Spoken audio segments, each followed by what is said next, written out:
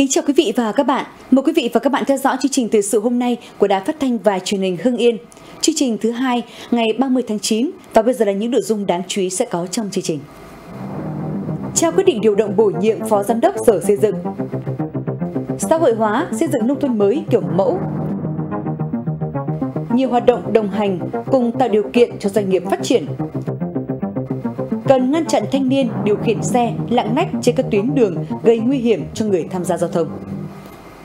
Thưa quý vị và các bạn, chiều nay, Sở Xây dựng tổ chức hội nghị công bố quyết định của Ủy ban nhân dân tỉnh điều động và bổ nhiệm Phó Giám đốc Sở Xây dựng. Tới dự có Phó Chủ tịch Ủy ban nhân dân tỉnh Nguyễn Hồng Nam.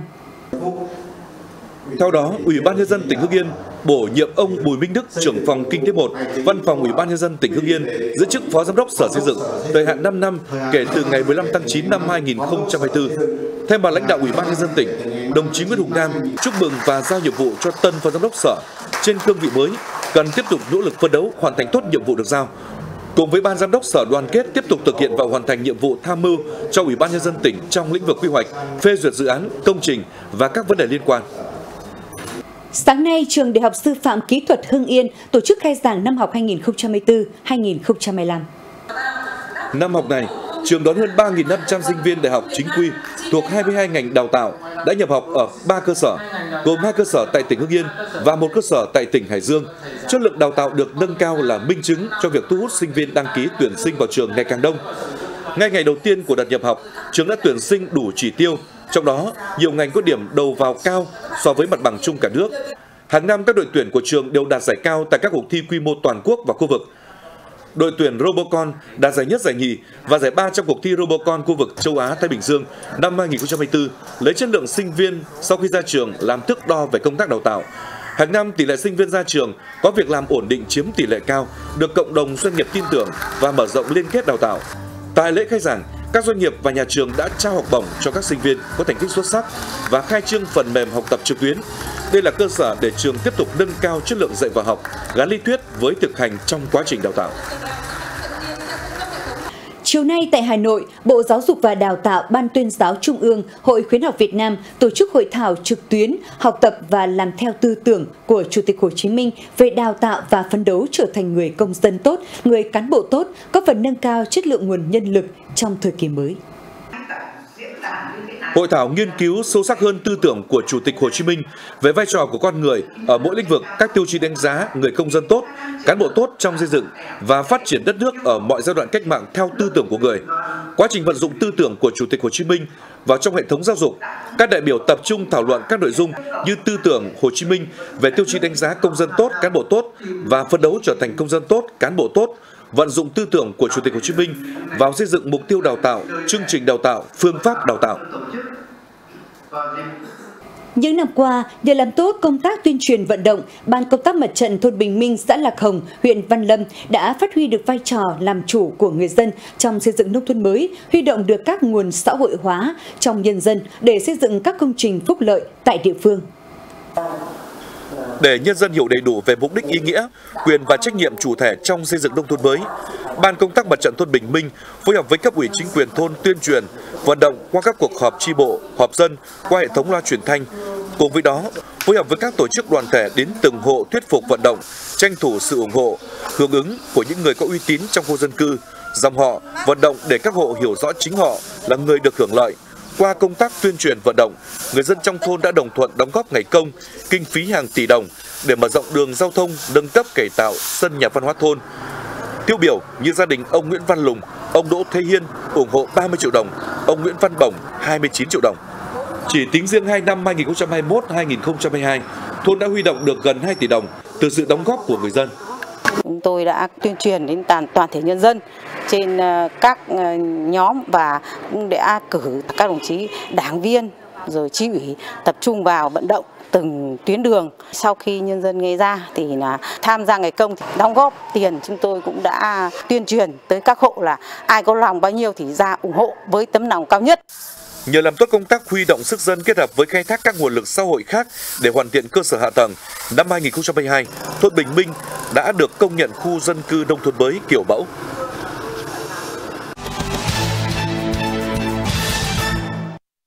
thưa quý vị và các bạn, nhân kỷ niệm 20 năm thành lập Hiệp hội Doanh nghiệp tỉnh Hưng Yên và 20 năm Ngày Doanh nhân Việt Nam 13 tháng 10 năm 2004, 13 tháng 10 năm 2014 ghi nhận công lao đóng góp to lớn của đội ngũ doanh nhân vào công cuộc xây dựng phát triển đất nước. Trong hai ngày mùng 1 và mùng 2 tháng 10, Ủy ban Nhân dân tỉnh Hưng Yên, Hiệp hội Doanh nghiệp tỉnh Hưng Yên sẽ tổ chức chuỗi sự kiện chào mừng, thu hút đông đảo các hiệp hội doanh nghiệp trong và ngoài tỉnh với quy mô lớn nhất từ trước đến nay. Trong nhiều ngày qua, công tác chuẩn bị được Hiệp hội Doanh nghiệp tỉnh và các đơn vị liên quan chuẩn bị chu đáo cả về nội dung và hình thức để các sự kiện diễn ra thành công tốt đẹp. Gần 100 nhân lực của chúng tôi đã bắt đầu ờ, lắp đặt tại hiện trường và dự kiến là đến ờ, sáng mai ngày mùng 1 tháng 10 sẽ hoàn thiện ờ, toàn bộ các công việc liên quan đến lắp đặt và đi vào vận hành và chạy sự kiện vào bắt đầu từ buổi chiều ngày mùng 1 tháng 10 đến hết ngày mùng 2 tháng 10. Theo kế hoạch, Mở đầu của chuỗi sự kiện là hội nghị lãnh đạo tỉnh gặp mặt doanh nghiệp doanh nhân và lễ kỷ niệm 20 năm thành lập Hiệp hội Doanh nghiệp tỉnh Hưng Yên diễn ra vào chiều ngày 1 tháng 10. Tiếp đó vào sáng ngày 2 tháng 10 diễn ra ngày hội kết nối giao thương và diễn đàn hợp tác liên kết và phát triển doanh nghiệp khu vực phía Bắc lần thứ 15. Đây là lần đầu tiên Hiệp hội Doanh nghiệp tỉnh Hưng Yên đăng cai tổ chức sự kiện quy mô lớn với gần 600 đại biểu đến từ 40 đoàn các tỉnh, thành phố tham gia. Qua cái sự kiện này thì rất mong muốn là các doanh nghiệp trong địa bàn tỉnh đồng hành cùng với cả hiệp hội doanh nghiệp tỉnh ờ, trong các chặng đường tiếp theo để làm sao chúng ta gắn kết hơn nữa để cùng phát triển và làm sao để đảm bảo được doanh nghiệp phát triển được gặt hái được nhiều thành công trên ờ, ờ, con đường phát triển kinh tế xã hội của tỉnh Hưng Yên nói riêng và của đất nước nói chung. Thông qua hoạt động này, các doanh nghiệp trong và ngoài tỉnh coi đây là cơ hội tốt để xúc tiến đầu tư, tìm kiếm mặt hàng, mở rộng sản xuất kinh doanh. Tỉnh Hưng Yên coi đây là cơ hội tốt để quảng bá tiềm năng, thế mạnh nhằm thu hút nhiều hơn nữa doanh nghiệp đến đầu tư.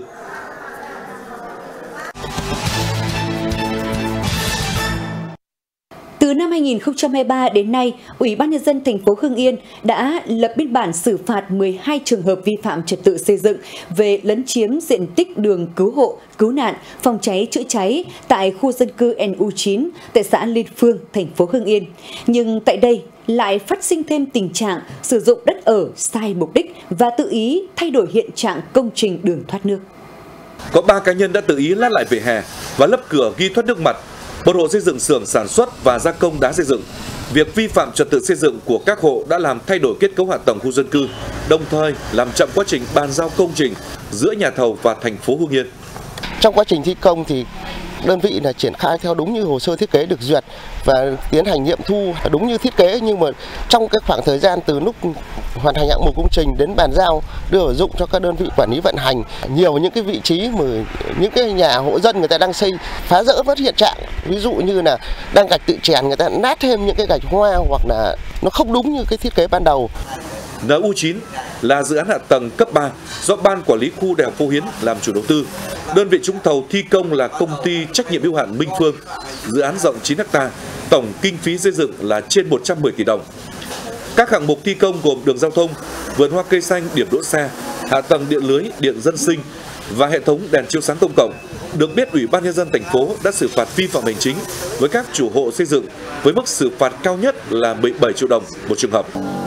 Với trường hợp hộ gia đình, anh Nguyễn Văn Đàn đã có hành vi lấp cửa cống thoát nước, cơ quan chức năng thành phố đã lập biên bản xử phạt vi phạm hành chính và yêu cầu trả lại nguyên trạng theo thiết kế ban đầu. Thực tế, tội phạm công nghệ cao lừa đảo chiếm đoạt tài sản trên không gian các trang mạng xã hội đang có chiều hướng gia tăng, Ủy ban nhân dân tỉnh Hưng Yên yêu cầu thủ trưởng các sở ban ngành đoàn thể, chủ tịch Ủy ban nhân dân các huyện thị xã thành phố tuyên truyền đến cán bộ đảng viên, công chức, viên chức và người lao động, học sinh, sinh viên về luật bảo vệ an ninh mạng, đấu tranh phòng chống với tội phạm sử dụng công nghệ cao. Theo đó, tập trung phổ biến sâu rộng giúp người dân nâng cao nhận thức, cách nhận diện kỹ năng, phương thức, thủ đoạn của các chiêu lừa đảo trên mạng, kết hợp đồng bộ nhiều phương pháp tuyên truyền thông qua các phương tiện thông tin đại chúng, thông qua các kênh sóng của cơ quan báo chí, xây dựng các bài viết phóng sự, video clip ngắn gọn, dễ hiểu, đưa thông tin nhanh nhất đến mọi người dân, tuyên truyền trực tiếp tại các hội nghị, các buổi sinh hoạt của cơ quan đơn vị tổ chức phát tờ rơi đến các hộ gia đình, kẻ băng rôn khẩu hiệu tạo hình ảnh trực quan sinh động dễ hiểu, dễ nhận biết và dễ ghi nhớ hướng tới người dân. Thưa quý vị và các bạn, hiện nay tình trạng thanh thiếu niên điều khiển xe gắn máy khi chưa đủ tuổi, chưa có giấy phép lái xe theo quy định đang diễn ra khá phổ biến tại các huyện, thị xã, thành phố trong tỉnh. Và đã có nhiều vụ tai nạn giao thông đặc biệt nghiêm trọng xảy ra liên quan đến các đối tượng là thanh thiếu niên. Đặc biệt còn diễn ra tình trạng thanh thiếu niên phóng nhanh lạng lách, rú còi đi vào buổi tối theo từng đoàn trên các tuyến phố tại thành phố Hưng Yên và một số địa bàn diễn ra trong thời gian dài. Nhưng việc ngăn chặn và xử lý còn gặp nhiều khó khăn. Tối nào ông Thi chú tại phường Quang Trung, thành phố Hưng Yên cũng đi bộ tập thể dục ở khu vực quảng trường Nguyễn Văn Linh. Ông cho biết, mới đây ông suýt bị một nhóm thanh thiếu niên phóng nhanh vượt ẩu đâm vào. Tốc độ nó nó quá nhanh là nó phi tới thế nhưng mà đến gần đến nơi rồi thì là, là cũng may là nó đi sát vào vỉa hè thì mình bị phóng sang vỉa hè bên kia thì là mê thoát. Ở vị trí lầy rộng thì rất là hay xảy ra do cái tình trạng là phóng nhanh vượt ẩu tức là phóng nó quá tốc độ. Khi chưa kịp nhìn thì là nó đã tông vào rồi. Bán hàng nước ở đây gần 20 năm, bà Mây ở phường Hiên Nam đã nhiều lần chứng kiến các vụ va chạm giao thông, thậm chí là tai nạn giao thông chết người xảy ra tại khu vực quảng trường. Nguyên nhân đa số là do tình trạng lạng lách, đánh võng. Tầm là khoảng 10 giờ, từng đoàn từng đoàn một, khoảng 17 18 người. Đấy để đi này nhiều khi còn nhấc cả cái bánh đằng trước đi, đầu không đội mũ trước thì kẹp ba kẹp bốn nó đi này nhiều khi còn vác dao vác kiếp. Còn các cái vụ tai nạn ở đây thì nói chung là hầu như là ngày nào cũng có nhẹ và nặng thôi. Tình trạng phóng nhanh, lạng lách đánh võng cũng đã gây ra nhiều vụ tai nạn giao thông thương tâm, cướp đi sinh mạng của chính người điều khiển và những người tham gia giao thông. Hiện trường các vụ tai nạn đã để lại ám ảnh cho gia đình, người thân và những người chứng kiến. Gia đình không cho cháu đi xe, Thế nhưng mà đây bạn cháu rủ đi thế là đương nhiên trong cái lúc đấy thì cũng không biết là cháu nó đi lúc nào xảy ra cái tai nạn như thế này là gia đình rất đau đau tâm. Không khó để bắt gặp trên địa bàn tỉnh những trường hợp người chưa đủ tuổi trong đó có nhiều em học sinh điều khiển xe mô tô không đội mũ bảo hiểm, lạng lách đánh võng, rú ga, nẹt phô, gây mất trật tự an toàn giao thông. Cháu năm nay mới lên cấp bè. Tham gia giao thông sao không có gương này? Thì cháu chưa mua chú. Cháu hơi đua đòi ạ. Cháu đi cùng bạn. Em gặp rất là nhiều các bạn có hành vi là đi phóng nhanh vượt ẩu cũng như là uh, thể hiện bản thân mình trên đường như là không đội bảo hiểm hay là à, cùng nhau đi phóng xe dàn ngang ra trên đường. Vào tháng 6 năm 2024,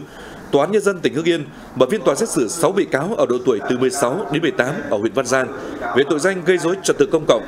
Theo đó vào cuối năm 2013, nhóm đối tượng này đã mang theo hung khí, phóng nhanh, lạng lách để truy đuổi và hành hung một nhóm đối tượng khác gây mất an ninh trật tự ở khu vực huyện Văn Giang. Tòa đã tuyên phạt 4 bị cáo mức án cao nhất là 7 năm 9 tháng tù giam, hai bị cáo cho hưởng án treo. Trong 9 tháng đầu năm 2024, lực lượng cảnh sát giao thông công an tỉnh đã lập biên bản và xử lý trên 1.500 trường hợp là học sinh vi phạm trật tự an toàn giao thông, xử phạt với số tiền trên 2 tỷ đồng. Cơ quan chức năng đã tạm giữ trên 1.000 phương tiện.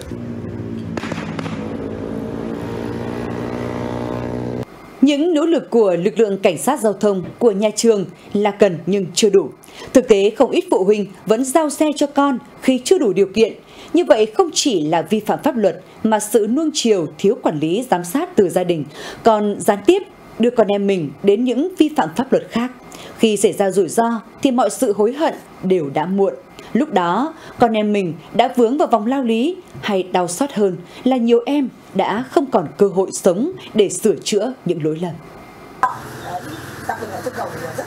Thời gian ở ngoài trường ấy, thì cô giáo quản còn về nhà thì các ông các bà và bố mẹ quản lý các cháu thật chặt về cái đoạn xe cộ. Nhiều các gia đình ý, cứ chủ quan là con mình cảm thấy lớn rồi vững vàng rồi. Các cháu vào đòi hỏi cho mượn xe mình cương quyết với các cháu thì các cháu sẽ đỡ xảy ra cái tai nạn à, trên à, bước đường giao thông. Tham gia giao thông mà các bạn hay vóng nhanh vượt ẩu và thích thể hiện cái tôi của mình thì khi đó là các bạn cảm thấy là rất là vui và rất là tự hào về bản thân rằng mình uh, khác biệt hơn mọi người mình được chú ý bởi mọi người. Ờ, những chiếc xe máy này ạ, thì hầu hết không thuộc sở hữu của các em thanh thiếu niên hay là học sinh mà thuộc về gia đình người thân của các em. Vậy nên nếu như không có sự chiều chuộng uh, thỏa hiệp với các em trong việc sử dụng phương tiện không đúng mục đích thì sẽ giảm bớt rõ rệt những cái tình trạng mà các em uh, lạng lách đua xe hay là vi phạm an toàn giao thông vào những cái tầm khung giờ ngoài giờ học ạ. Và một nguyên nhân nữa thì cũng xuất phát từ những chiếc smartphone như thế này ạ. Các em thanh thiếu niên thì được tiếp xúc với điện thoại di động mạng xã hội từ rất sớm và trên các nền tảng thì cũng có rất nhiều những cái video hay còn gọi là trend mà thể hiện mình cái tôi ở trên mạng như là đua xe lạng lách thì rất dễ ảnh hưởng đến tâm sinh lý của các em và bắt chiếc học theo. Qua số liệu cho thấy, lỗi vi phạm học sinh chưa đủ tuổi điều khiển xe mô tô, xe gắn máy chiếm trên 47% và hệ quả là tai nạn giao thông liên quan đến điều khiển xe trên 50 phân khối chiếm đến 70% qua quá trình xử lý chúng tôi cũng phát hiện rất nhiều cái vụ việc liên quan vấn đề này ờ, phụ huynh học sinh thì ờ, ông bà thì không biết được là các cháu mình lấy xe để làm gì từ thực trạng về vấn đề vi phạm an toàn giao thông ở học sinh, có thể thấy văn hóa giao thông ở lứa tuổi thanh thiếu niên hiện nay còn kém, chủ yếu do sự thiếu hiểu biết và ý thức chấp hành pháp luật về an toàn giao thông chưa cao. Vấn đề đặt ra đó là làm thế nào để tuyên truyền, để nhắc nhở, để gian đe và để quản lý các em thanh thiếu niên trong bối cảnh hiện nay. Điều này cần sự chung tay của cả gia đình, nhà trường và toàn xã hội. Cùng nỗi lo khi có con trai đang trong độ tuổi cấp 3, chị Huệ cùng các chị em trong cơ quan luôn dành thời gian để chia sẻ những bí quyết, cách làm để hướng dẫn, đồng hành và có cả sự nghiêm khắc với con cái trong vấn đề tham gia giao thông. Nguyên tắc đặt ra với con trai chị là luôn thông báo, xin phép bố mẹ rõ ràng về thời gian, giờ giấc lịch học và các hoạt động vui chơi ngoại khóa mà con tham gia hai bạn ấy cũng giống như là các cái ờ, bạn khác trong lứa tuổi cũng rất là thích thể hiện. Cái đôi khi là thích thể hiện như thế cho nó ngầu, tuy nhiên thì bố mẹ thường xuyên là phải nhắc nhở khi là con đi học hay là đi ờ, tham gia các cái hoạt động, cái lịch học của các con là bố mẹ đều nắm được hết. Là học từ mấy giờ đến mấy giờ, môn nào và thứ mấy, kiểm soát cái ờ, thời gian các con đi và về. Gia đình là nơi trực tiếp giám sát là trường học đầu tiên của con cái nên việc giáo dục nhắc nhở, hướng dẫn an toàn khi tham gia giao thông là giải pháp hữu hiệu để các con có những thói quen ăn sâu trong đầu mỗi khi bước chân lên xe máy di chuyển trên đường. Đối với gia đình nhà tôi thì có cả con trai lẫn con gái. Bạn trai thì năm nay 18 tuổi rồi. Bước vào chân vào cấp 3 thì tôi đã cho tham gia giao thông bằng xe máy. Tuy nhiên phải phù hợp với lứa tuổi và tôi cũng yêu cầu các con là khi tham gia giao thông phải đội mũ bảo hiểm. Thì cái việc mà nhắc nhở các con thường xuyên thì cũng tạo thành một cái thói quen để các con khi bước chân lên xe để tham gia giao thông là phải có mũ bảo hiểm trên đầu. Cái thứ hai là khi tham gia giao thông trên đường là mình phải có ừ, cái quan sát, mình phải có cái xử lý làm sao cho nó chuẩn, cho nó đúng quy định pháp luật. Cùng với gia đình, các nhà trường tiếp tục đóng vai trò quan trọng trong thực hiện giáo dục đến các em học sinh tuân thủ pháp luật khi tham gia giao thông. Thay vì tuyên truyền đơn thuần, nhiều nhà trường đã triển khai đa dạng các hình thức để các em học sinh hiểu đúng, hiểu rõ và chấp hành nghiêm pháp luật về an toàn giao thông. Đơn cử như tại trường Trung học phổ thông Đức Hợp, thay vì khẩu hiệu hãy tham gia giao thông an toàn, nhà trường chọn cách nói thầy cô cảm ơn các em đã chấp hành nghiêm quy định an toàn giao thông ngay tại cổng trường để khích lệ và nhắc nhở các em. Tại trường Trung học phổ thông Quang Trung, thành phố Hưng Yên, nhà trường bố trí hàng chục tuyến xe theo từng tuyến để cùng gia đình đưa đón các em an toàn, giảm tình trạng các em đi xe máy đến trường. Giải pháp cần thiết bây giờ thì mình nghĩ là vẫn là cái việc là kết hợp giữa gia đình, nhà trường và đặc biệt là cái giáo dục gia đình cũng phải quan tâm nhiều hơn để nâng cao cái nhận thức của các con khi tham gia giao thông để các con sẽ hiểu được cái tầm nghiêm trọng của cái việc thực hiện nghiêm túc. Nếu không nghiêm túc thì cái hậu quả nó như thế nào? Đặc thù của nhà trường là học sinh đến từ nhiều vùng khác nhau, nên nhà trường đã có hệ thống xe tuyến để có thể đưa đón các em, đưa từng ngõ và gõ cửa từng nhà. Và chính vì vậy cho nên là trong nhiều năm qua thì cái việc mà vi phạm an toàn giao thông của nhà trường này ngày càng giảm với những học sinh là đi xe đến trường thì à, nhà trường đã nhắc nhở này rồi à, để động viên các con để thực hiện tốt cái vấn đề an toàn giao thông về chế tài xử lý những vi phạm đối với lứa tuổi thanh thiếu niên vẫn cần có những biện pháp lâu dài mang tính gian đe cảnh cáo cao để không còn những tình trạng coi thường chủ quan trước pháp luật về an toàn giao thông ở học sinh tràn lan như hiện nay. Chúng tôi cũng đề xuất với nhà trường là có cái tiết học về đảm bảo trật tự an toàn giao thông và giao thông đường bộ vào các tiết học chính của nhà trường. Xã, phường thì cũng tăng cường những cái gương điển hình của các cháu học sinh chấp hành tốt luật giao thông thì phải có khen chê tôn vinh những cái cá nhân tập thể có thành tích xuất sắc bên cạnh đó thì cũng phải có cái giáo dục các cháu chưa chấp hành tốt luật an toàn giao thông. Giải pháp quan trọng nhất vẫn là sự quản lý giáo dục của gia đình, sự kiểm soát các hành vi của bố mẹ đối với con em mình. Ngay từ những năm học tiểu học đến trung học cơ sở thì mới ngăn chặn được các hành vi của các bạn trẻ. Cùng với đó, mỗi thanh thiếu niên hãy luôn có những hành động thiết thực, không đua đòi theo các trào lưu có hại cho bản thân, gia đình và xã hội để góp sức xây dựng văn hóa giao thông. Tai nạn sẽ chỉ giảm khi ý thức của mỗi người được nâng cao, trong đó thanh thiếu niên đóng vai trò trên hết và trước hết. Quý vị và các bạn thân mến, thông tin vừa rồi đã khép lại chương trình thời sự của Đài Phát thanh và Truyền hình Hưng Yên. Cảm ơn quý vị và các bạn đã quan tâm theo dõi. Xin kính chào và hẹn gặp lại.